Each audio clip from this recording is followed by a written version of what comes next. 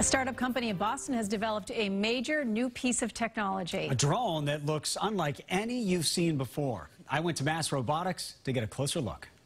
What we've done is a leap forward in technology and in capability.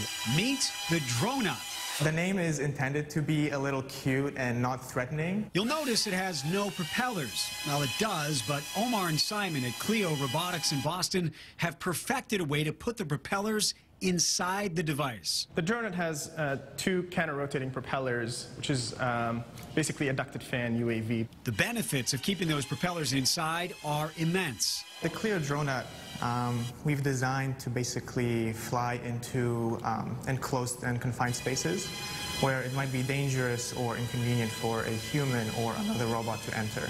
The military will be able to send the Dronut into dangerous spots without the risk of a propeller hitting a wall and breaking the device. In fact, you can catch this drone. You're going to actually have me catch it. Correct. We're going to try. You're, you're going to do it. And it was, even for me, pretty easy. wow. Should I Gronk spike it? Because I caught it? They politely asked me not to.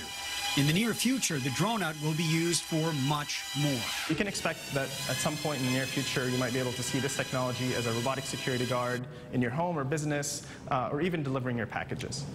Now, Cleo Robotics is selling the drone right now to military and law enforcement. Their next goal is to make it quieter. They say they're about six months from making that happen, but I always feel dumb when I'm hanging out with these guys, Kate. I mean, because because they're really really compared smart. to them. Yep. I, I, can't wait till I can have that quietly follow my teenagers around and they won't know Ooh. that I'm just stalking them. That's instead of helicopter parenting, drone parenting. Yep.